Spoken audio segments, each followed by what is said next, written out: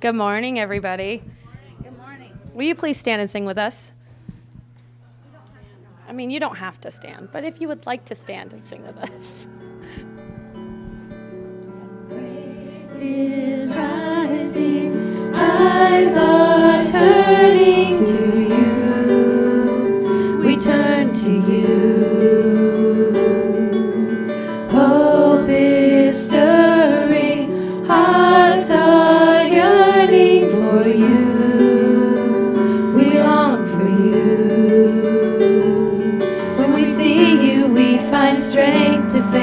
face the day. In your presence, all our fears are washed away,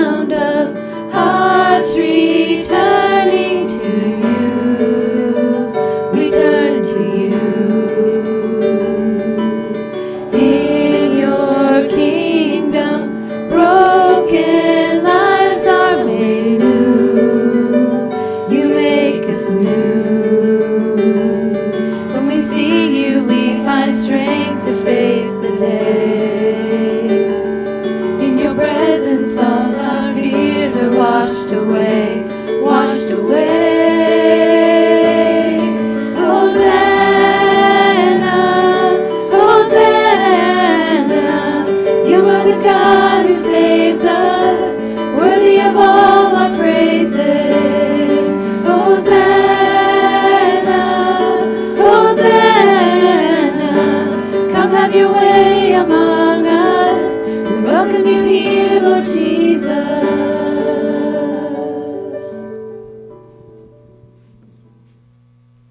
thank you for bringing us together this morning. We ask that you would uh, just join us, be with us this morning, Lord, and just touch the worship time and the message, Lord, and just ask that you just help us to get everything out of it that you intended for us, Lord. In your name, amen. So greet somebody near you, or if you really want to go all the way across and run around, that's cool too.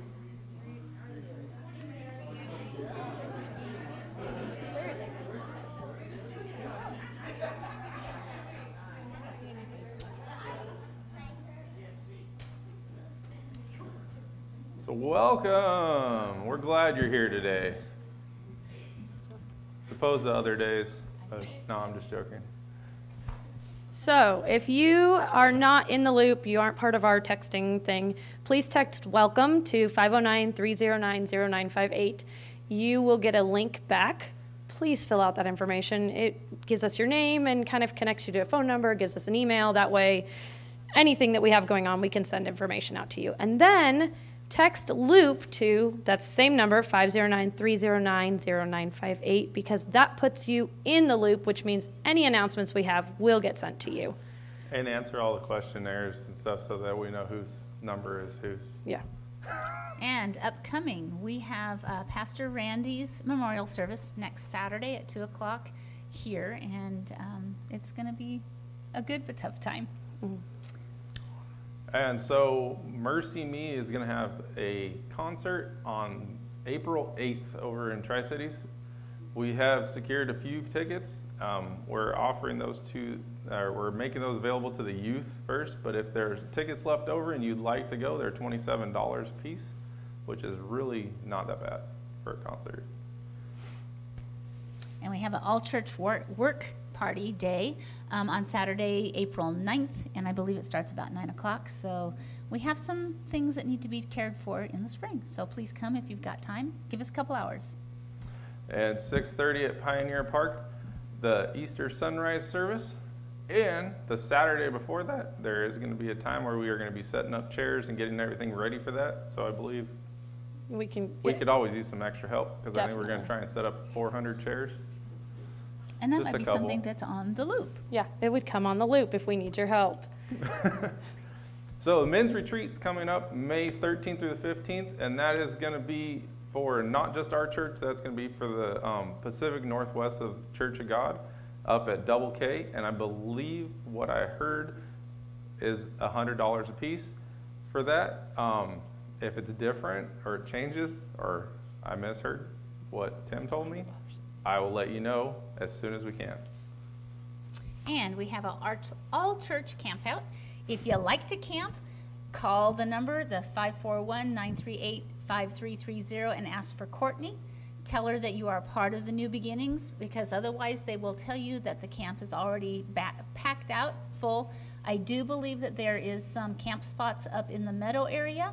That's it. If you don't want to camp, please come up for the day. Come up for a few hours. We have a lot of activities happening on Saturday, and on Sunday we will have our worship um, time up there and message. Yep. So, one other, both days, come stay as long as you want. I think we have to be out of there by noon on Around noon, I around think. noon on yeah. Sunday. But um, the worship time up there is also always amazing. We have the mountains behind, usually where Tim is preaching to us, for us, with us. Um, so September 9 through 11. And we are hoping to put together an Easter egg hunt to go along with our sunrise service. And then for our kids here on Sunday morning, um, we've got like a thousand eggs to fill. So we really could use candy donations. And if you could get them here by April 3rd, that'd be awesome. But anytime before Easter would be great so we can fill up all the eggs. And if you want to fill eggs, let me know because I'd love extra hands filling eggs. So join us now for worship, if you would please. Feel free to stand or sit, whatever you feel like doing.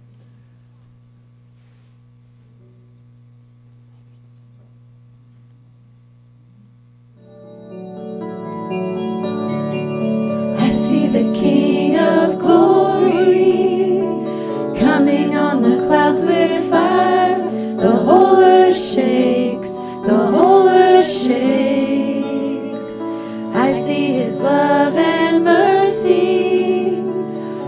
Washing over all our sin. The people sing, the people sing. Hosanna,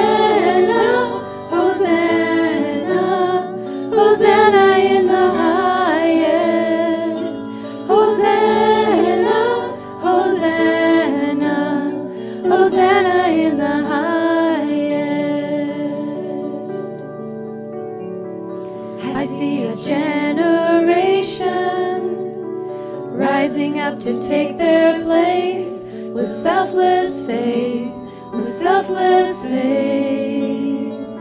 I see a near revival stirring as we pray and seek. We're on our knees,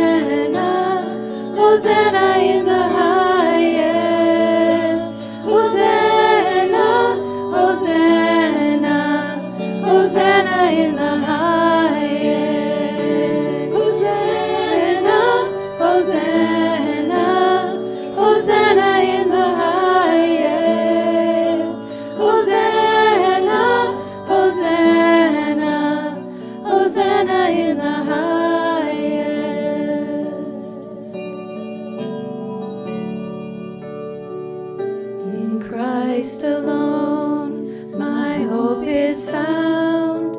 He is the light,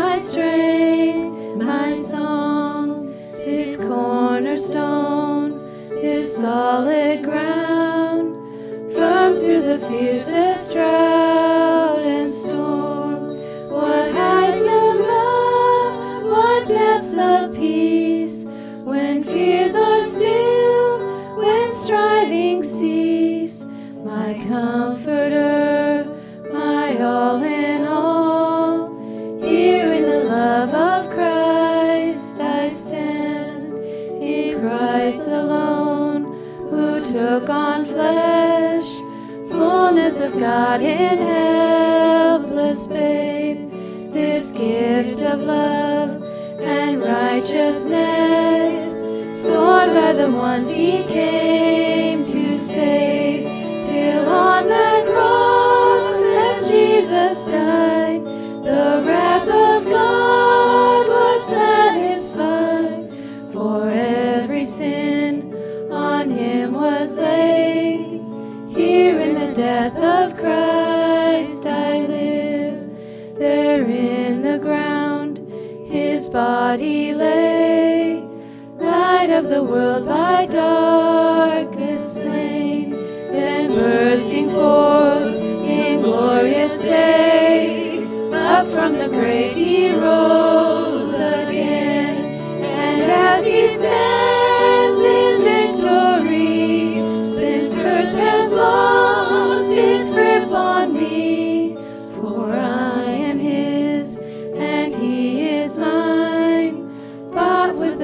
precious blood of Christ. No guilt in life, no fear in death. This is the power of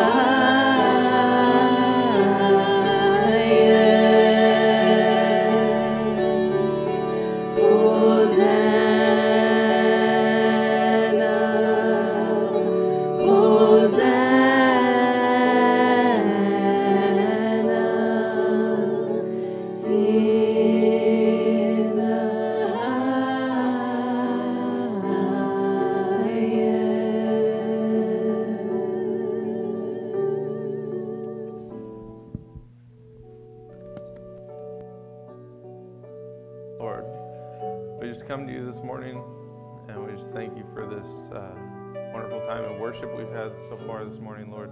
And we just ask that you would, uh, ask that you would just be with the, the people of Ukraine this morning, Lord.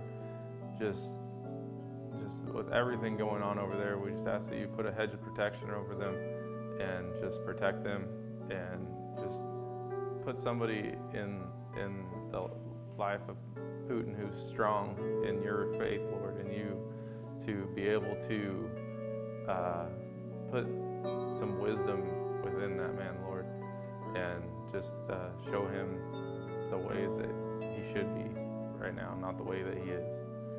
And we just ask that you be with the, the Rogers family and the Palzer family as they are both dealing with loss this, this morning, Lord. And we just ask that you would give them comfort, give them give them uh, some peace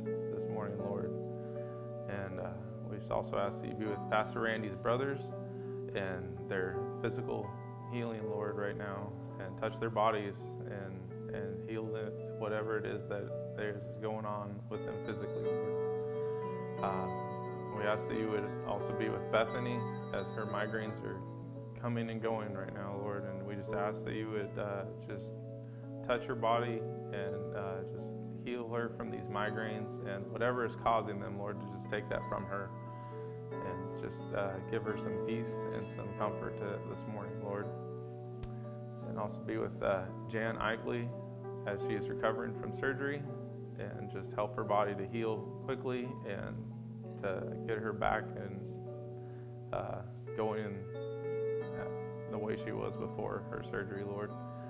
And also be with uh, Julie this morning and just give her peace as she's getting ready to go undergo some surgery and just uh, give the doctors uh, the wisdom of being able to perform that surgery, Lord, in the, the, the, best that they can and help her to be able to recover uh, from this surgery quickly.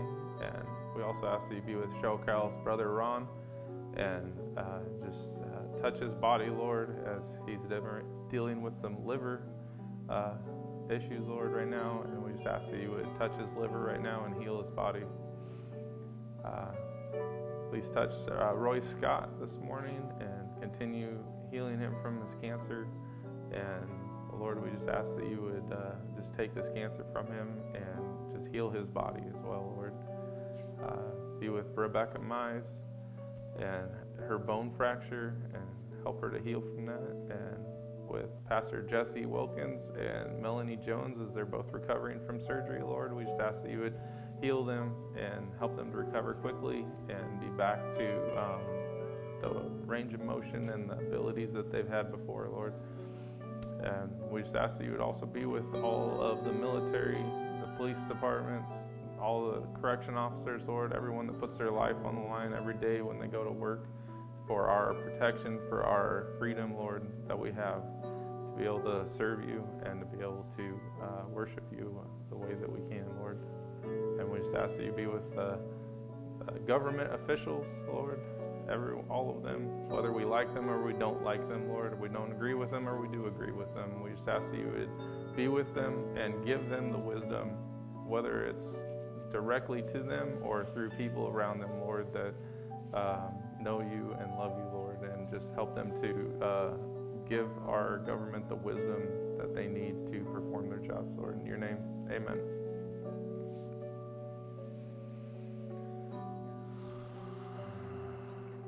All right, give me the clicker clicker thingy. Good morning, everyone. I know I'm like going off off the rails over there.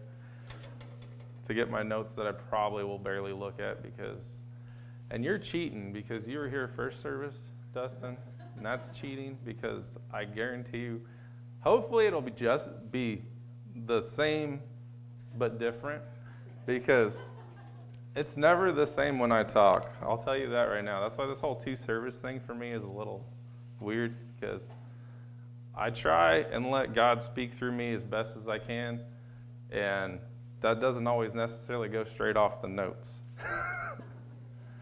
so, fair warning. So, we're going to talk a little bit about anchors. It's going to take me a little bit to get to the anchors part, as Dustin knows, but that's okay. We'll get there. So, in 1 Peter 5 1 through 10, if you want to stand, you're more than welcome to. I'm not going to tell you you have to because I know not everybody can, but we're good with that. And now, a word to you from to you who are elders in the churches. I too am an elder a, and a witness to the suffering of Christ, and I too will share in his glory when he is revealed to the whole world. As a fellow elder, I appeal to you care for the flock that God has entrusted to you, Watch over it willingly, not grudgingly, not for what you will get out of it, but because you are eager to serve God. Don't lord over the people assigned to you. Your care assigned to your care, but lead them by your own good example. And when the great shepherd appears, you will receive a crown of never ending glory and honor. In the same way, you who are younger must accept the authority of the elders. And all the people and all of you dress yourselves in humility as you relate to one another, for God opposes the proud, but gives grace to the humble. So humble yourselves under the mighty power of God, and the right and at the right time he will lift you up in honor. Give give all your worries and cares to God, for he cares about you. Stay alert, watch out for the great enemy, the devil. He prowls around like a roaring lion, looking for someone to devour. Stand firm against him and be strong in your faith. Remember that your family of believers all over the world is going through the same kind of suffering you are. In his kindness, God called you to share in his eternal glory by means of Christ Jesus. So after you have suffered a little while, he will restore, support, and strengthen you, and he will place you on a firm foundation. All power to him forever. Amen. That was much better. Was better? All right. Progress. Progress. I appreciate that. So, a little bit about myself because I'm sure a lot of you don't know like who this person is standing up here. Maybe you do. But I grew up my dad was a pastor. Well, I didn't always know my dad was a pastor because he was a high school teacher and a soccer coach and football coach at the high school until I was 11, and then I found out, well, there was a life before that, and he was a pastor before that, but he was in between churches in the time I remembered when I was a kid until we moved up here. Then he became a pastor again, and he was a pastor over at Blue Mountain for 15, 17 years, something like that. Um, but I went to church every Sunday, every Wednesday, sick, not sick. I was always there. Um, and I always told myself, I'm not going to be a pastor. I don't want to do that. I'm, that's my dad. I'm not going to be a pastor. So then I had my first mission trip. I went on my first mission trip when I was 16 to Guatemala and Costa Rica. And that's when I started feeling like called to some sort of ministry. I kept telling myself I'm still not going to be a pastor. I'll be a missionary. That's different, right? Right? That's different being a missionary than a pastor. I keep telling myself that, but um, I went on another mission trip. A couple years later, we went to Atlanta, uh, worked with an organization called Church on the Street with Kurt Salerno, and did a lot of mission stuff with uh, the homeless down there in Atlanta. We helped build some walls, build some structures. Uh, they, we were putting in some bathrooms and showers, I think, in one of their uh, um, the why can I not think of it? Homeless facilities. Sure, we'll go with that. Um, and we also did, um, so they did a thing like every night there was a different like parking lot that was doing a little church service and feeding them and stuff like that. So we did do some help with that as well. Um, and so just kind of kept building this whole like I need to, I feeling feeling called to doing some sort of missions. Uh, in college, I was part of InterVarsity at WSU, and if does anybody know what InterVarsity is? Anybody ever heard of InterVarsity? Has anybody heard of Young Life? Okay, a little bit more. It's kind of like a mini church for kids at school, basically. And so I was part of that, and we went on another mission trip. So I was like going on lots of mission trips, kind of, I guess. Um, we were out here at Broche Orchards, and at the church we were staying at, there was this pastor there, and he like just kind of looked at me and he goes, "Were you a pastor's kid?" And I was like, "Yeah." And he's all like, "Well, I think you're going to be a pastor." And I was all like, "I think you're wrong." And he's all like, "Well, one of two things happens with pastors' kids: either you become a pastor or you quit going to church." and you're here, so I think you're going to be a pastor. And I kept telling him he was wrong. Here we are. Uh, after we came to church here, um, we'll just go with the last few years. So, but we came to church here. I started working with Pastor Randy and started feeling the call to uh, be a little bit more involved here at our church and uh, working with the youth. Uh, and every time I would lead the youth, Randy would always say, I can't wait to see you preach. And I'm like, yeah, I don't think that's going to happen. Here we are. Um, so, needless to say, over the last 22 years, I kept telling God no, and He kept telling me, we're going to get you there. so, thanks to my wife, this service, this message has been like a year and a half in the making, and she's like, "You need to do this now," and I was like, "Maybe." and I guess 18 years of marriage, kind of, you have to listen to them. So, so yes, that's my wife right over there. For those of you don't know, Brianna, she sings up here. She does all kinds of stuff around here. But 18 years today, so that's today's our anniversary. So. Thank you.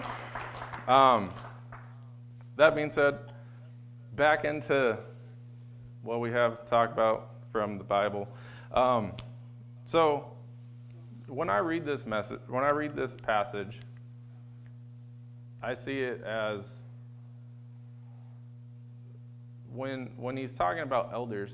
The way I see that is shepherds, because we're talking about elders in a, in a way of like, yes, you're older than me. Or, I mean, I work as a electrical maintenance technician, and I am a lead electrical maintenance technician, so I have to help and work with guys and help them and teach them how to do things.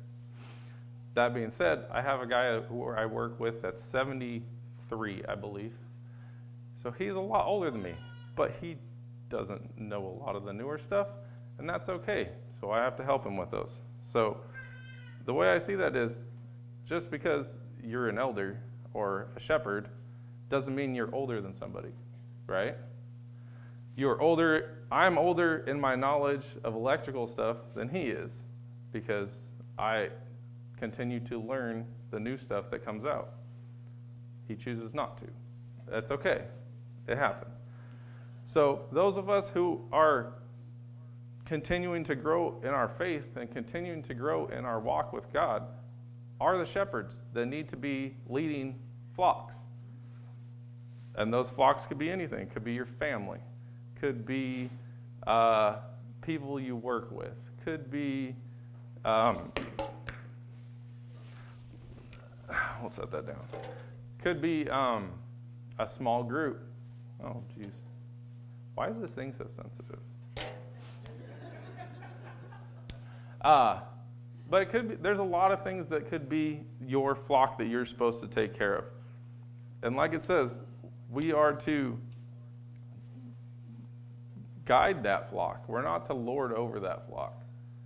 We are to show them how to walk with Christ by our actions, by what we say, and just be there for them when they need help, right? So, part of that is we have to treat each other like family, right? How many like your family all the time? You like your family all the time? They never do anything to annoy you? Huh? But how many love your family all the time? Right? There's a difference between liking and loving, right? Trust me, I got two brothers. I don't always like them, but I always love them. And so, if we treat each other like family, then we should be able to, you know, rely on each other like family, right? So, when you're in a tough spot, do you call your family? No? Come on, you can speak up. That's okay. I don't mind. I'm used to like dealing with youth kids that always speak up. So It's all good. Um, but we need to treat each other like family. And that means we need to be there in the tough times. We need to be there when times are tough, right? Because you need to be able to rely on each other. All right. In 1 Timothy, it says, Do not let anyone think less of you because you are young. Be an example to all believers in what you say, in what you live, in your life, in your faith, and in your purity. So, once again, like, it doesn't matter if you're AJ or if you're Alex or if you're Bob Willoughby or whoever.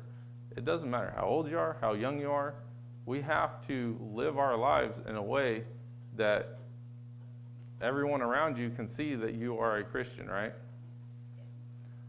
Because what happens when you're at work and everyone's telling dirty jokes and you're laughing and maybe you're telling some dirty jokes or whatnot, and then you're like, hey guys, let's go to church.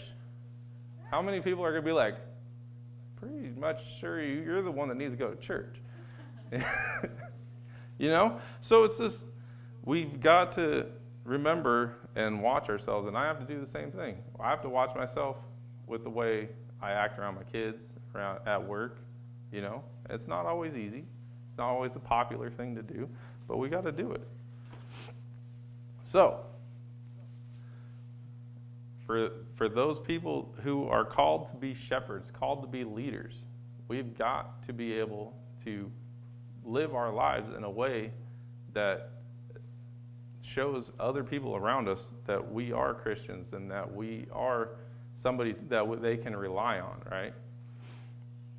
In Matthew 10, 4, or Matthew 18, it talk, in 10 through 14, it talks about the story of the lost sheep. And in the story of the lost sheep, everybody knows that story? Does anybody not know that story? It's okay. It's a short story. So, shepherd's out. He's got 100 sheep. One sheep, he's counting his flock and he's only got 99. So, he's got to go find the one lost sheep, right? So, he goes out and he goes, he keeps the 99 together and goes out looking for that one lost sheep. So, if you're a shepherd that's entrusted to a flock, you can't let that one sheep just go. You know, if they make you mad and you and they like walk and they go off, you can't just let them leave. You could be mad as you want. Anyone a parent? Your kids make you mad. Doesn't mean you just get to like give up on them. It doesn't mean maybe they don't talk to you. Maybe, I mean, it doesn't matter. You don't give up on your family, you don't give up on your kids, no matter how much they make you mad, no matter how much you want to just say, fine, be that way, you go be that way.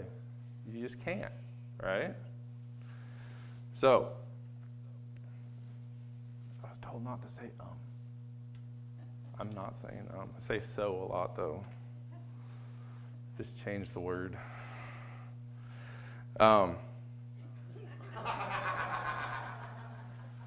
She's over there looking at me. Uh, oh. So, how many know how many like how many anchors would you say are on a boat? Anybody nautical? Depends, depends on the size of the boat, right? But every every boat's got more than one anchor, right? Huh? No. Okay, maybe if you're in like a like six foot dinghy, might only have one anchor. I don't know. I'm not very nautical, but according to Acts 27, the boat they were in, they had eight anchors. So in Acts 27, 28 through 29, they dropped a weighted line and found that the water was 120 feet deep. But, the, but a little while a little later, they measured again and found it was 90 feet deep. So they knew they were going towards the shore or they were going to run aground or something. At the rate they were afraid it would soon be driven against the rocks along the shore, so they threw four anchors out from the back of the ship and prayed for daylight. So, I'm going to drop that thing again, I know. So, um, So if if we're looking at that the way I see it, what is your anchors? You already know the answer, so. No? You don't remember? That's okay. It's recorded, so you can watch it as many times as you. So, what what would you say in when you're in a storm in your life? What would be your anchor in your mind, your opinion? And but Jesus, I go ahead. God's word. God's word. All right. So, what would you say the solid rock? Right. Every you hear about the solid rock. What's the solid rock? It's Jesus, right? The Word of God, Jesus. So, how can both those things be the same thing? The anchor is what holds you in place, right? And so, when you're in a storm and you can't see where you're going, you can't see everything, what's going on. And I know some of us are, are at the point in our lives that we can just grab that Bible and we can try and anchor ourselves, right? But a lot of times when it gets rough out there, we need other people around us. We need those that we can count on, those that we can call to anchor us down to the Word of God that can anchor us. And I know that we all like to count on Mr. Timothy, right? And he does a great job of being there for us, right? But like a, today, he's not here. Hi, Tim. I know you're watching. Um, but he's not here. And that's okay. But we have to have other people that we can call, other people that we can that can be there for us to be those anchors. And those are those shepherds that we have around us. Those shepherds that and and there's and no matter who you are, no matter how old you are, how young you are, uh, where you're at, you, at some point in time, you're going to be called to be a shepherd of a flock. How big that flock is, it could be one person, it could be a hundred people. I don't know. That's not my job to find out. That's somebody else's job. Um, but we're, we're all going to be called to be a, flock, be a shepherd. And, there, and there's always going to be a time when you're going to be part of the flock. Either way, you're going to need somebody to, have, to be able to rely on, to call, to be that anchor for you, to help you hold you, hold you firmly in place when you're going through tough times in your life. Um, see, you said that to me. No, I'm saying um. That's okay. Excuse me. So the more anchors we have, the better, right? The more the more people we can rely on, the more people around us that we can that we can contact. So everybody has everybody's contact information, right? As I don't. So how are you supposed to get a hold of anybody when you're going through a tough time? That's why I think we need to get back to something that is very important, and that is small groups, right? And so I think the anchors in our lives are those small group leaders, are those, those people who we can call if we can't get a hold of Tim or whoever. That's, we've got to have more than one person to rely on. And that's where I, I, I really felt strongly about this for the last couple years. But, um, and, and then the whole like pandemic thing hit, and everybody's like, oh, can't go around people. I know. I know not everybody. I know. But just as a, in general.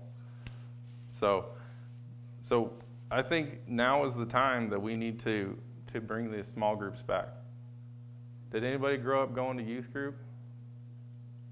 Yeah, yeah. When was youth group?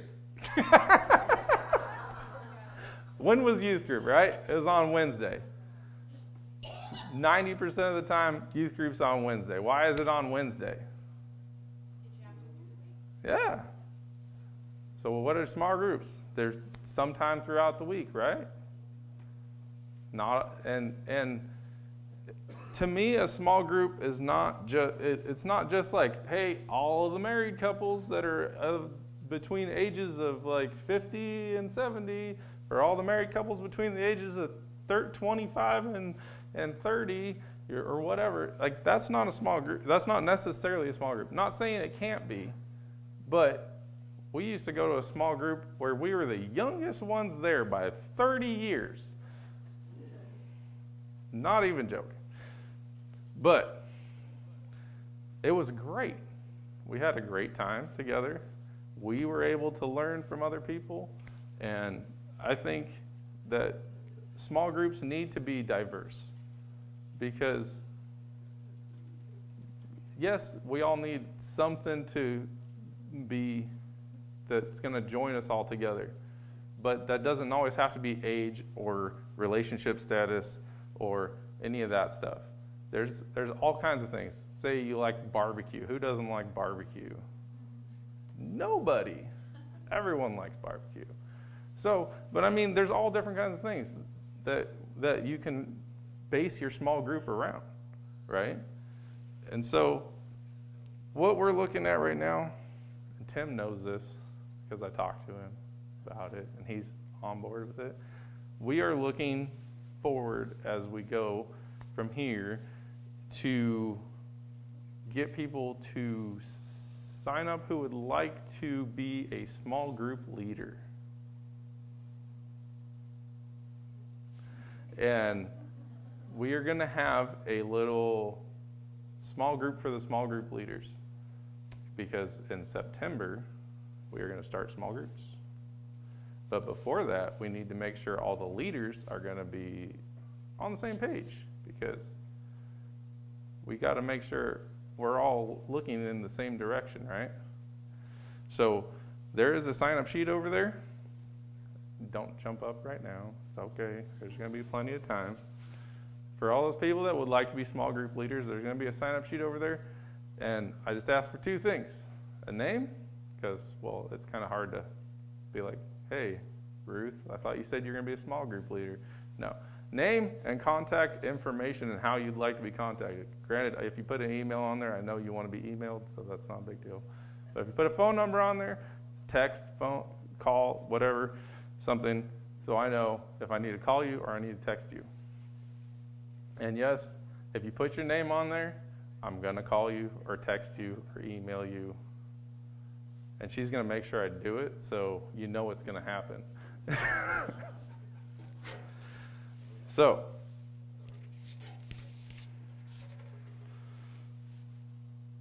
oh, already did all that. Why does it always go faster the second time? Practice. Yeah. Is it better? Oh, cool. All right. So, what are we looking at now? We are looking at Hebrews 10, 24 through 25. Let us think of ways to motivate one another, acts of love and good works. And let us not neglect our meetings together as some people but do some people do, but encourage one another, especially now that the day has of his return is drawing near. So, once again, we need to get together, right? We need to get together and not just Sunday at church and say, all right, that was great. Now we go back and then we come back, oh, that was great. How many times in the last two months have we mentioned we need to do small groups again. We need to do small groups again. Well, guess what? We're going to do them. And I'm going to make sure that. So just know if you put your name over there, you're going to get a call or a text or an email. It's going to happen. We're going to make sure this happens. And for those of you who don't feel like you're ready or don't feel called to be a small group leader, that is perfectly fine too. Just know there's going to be small groups to sign up for. And whether whether there there's only one day out of the week that you can that you have time and that there's one available, but it says married people, I don't care. Just go. Even if you're not married, just go. Because guess what? You'll probably learn something. Just saying. I mean, doesn't matter if you're married or not married or you got kids or you don't got kids. Like, we all have something that we can impart on other people.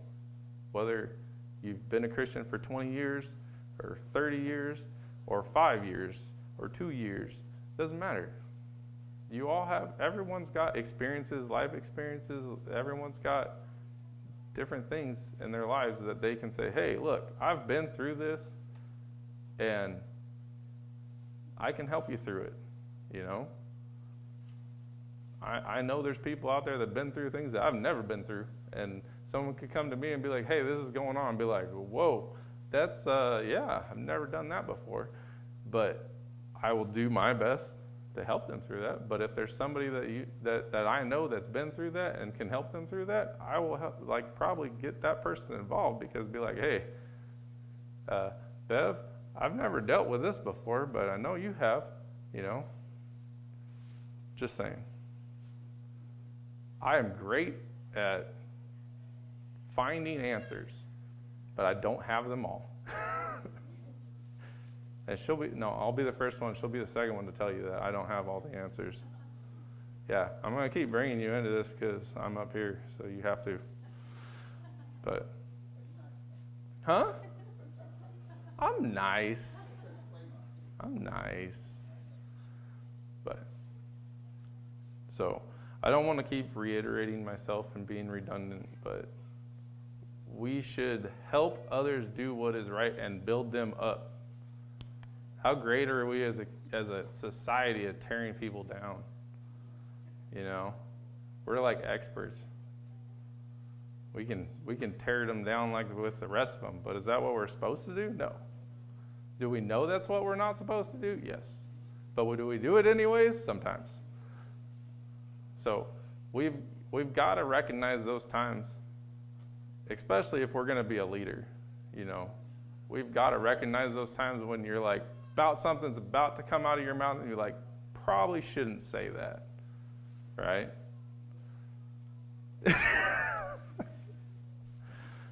so, so if you are called and you feel like you're called to be a leader, then we've really got to nail down some certain things and some and we've we've all got to watch our behaviors and watch what comes out of our mouths. I mean, that's a given because we are, like I said, great at tearing each other down, but we need to continue. And for those of all of you who don't have my contact information, since I said everybody needs everybody's, there's mine. So if you want, you can call me. If I'm just going to tell you right now, if you call me and I don't have your number in my phone, I probably won't answer, but leave a message and I will return it. if you text me, just tell me who you are. So, um, but I am not going to tell you guys that you need to get everybody's contact information and not give you mine. So, there you go. Um, yeah. Um, one last thing to give you guys before I let you go is a secret that I didn't tell first service because I forgot. It's a secret. Should don't tell anybody this because it's a very dangerous secret. And there's two words that are the most dangerous words you can use when you're praying and you're talking to God. Use me. Don't ever use those two words together if you're not ready for the answer. All right? so, Lord, thank you for this time you've given us together. I know it went quick, but I hope that uh, something that you have for people today was expressed, Lord, because that is our only goal as I'm standing here, Lord, in front of you and in front of everyone. Uh, we just ask that you would continue to uh, strengthen us throughout this week, Lord, and continue to uh, encourage us as we go from this place and help us to rely on each other when we need help. In your name, amen. Have a good day. Update on Tim and Kaylani. They, um,